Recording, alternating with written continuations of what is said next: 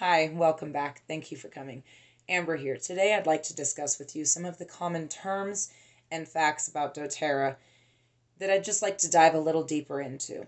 Many of us wellness advocates, you'll hear us referring to 100% CPTG when we discuss doTERRA products. What does that mean? 100% CPTG means that that is 100% certified pure therapeutic grade. There's many products out there on the market today that claim to be essential oils that are actually oftentimes not pure aromatic extracts, which is what an essential oil is and they contain fillers and non-aromatic compounds that can't that sometimes aren't actually good for you to be breathing in or putting on your skin, let alone putting internally into your body. doTERRA goes above and beyond with a third party that tests our products eight different ways to verify the purity and integrity of that oil.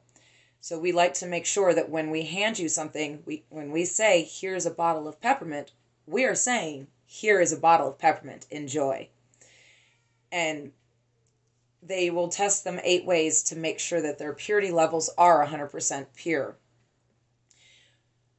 The label stating 100% CPTG represents doTERRA's personal guarantee of pure essential oils that meet highest standards of purity all of the plants that get used to make doTERRA essential oils come from their natural habitats. So we resource out to multiple countries all over the world to find the highest grade of plant there is that doesn't need man made chemicals to help it grow, help the soil, or anything like that.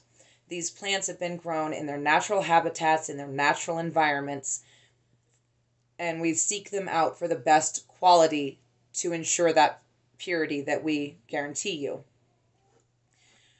When you look at a doTERRA essential oil bottle, a lot of times the front of it will look fairly similar to many other oils. You'll see the name, you'll see the milliliters that it contains, the company's name. But if you look at the back of a doTERRA essential oil, you'll see what's called a supplemental facts box. And what that is, is that ensures you that this oil can actually be opened up